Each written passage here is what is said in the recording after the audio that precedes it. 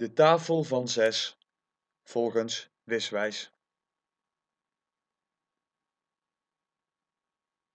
1 keer 6 is 6. We gaan een stapje naar beneden en dat betekent verdubbelen. 2 keer 6 is dus 6 erbij 6 en dat is 12. We gaan een stap naar beneden. Dat betekent verdubbelen.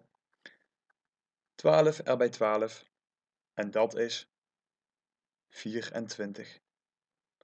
We gaan weer een stap naar beneden. Alweer verdubbelen.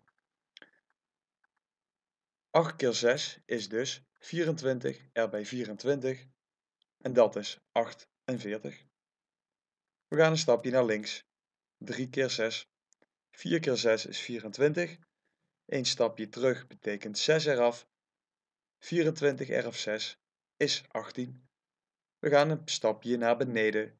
6 keer 6. 3 keer 6 is 18. 18 erbij 18 is 36. We gaan één stapje naar beneden en dat betekent erbij 6.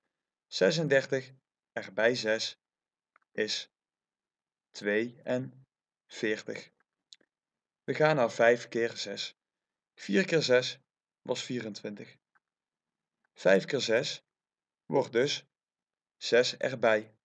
24 erbij 6 is 30. We gaan een stapje naar beneden. 10 keer 6. Dat wordt verdubbelen. 30 erbij 30. Ja, dat is 60. We gaan één stapje naar beneden. 9 keer 6. 10 keer 6 is 60. 60 eraf 6 is 54.